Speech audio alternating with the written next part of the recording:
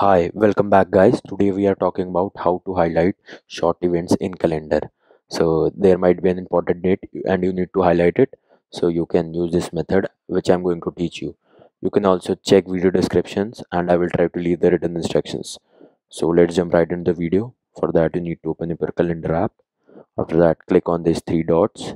Then go to settings and then click on the second option which says highlight short events click on it and there you go. Uh, that is the easiest way i know.